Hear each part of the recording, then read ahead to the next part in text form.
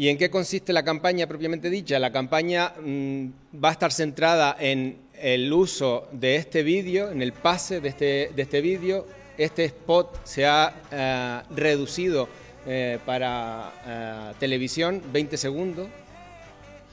Luego este, el vídeo de dos minutos lo vamos a utilizar en todas las redes a través de internet y en YouTube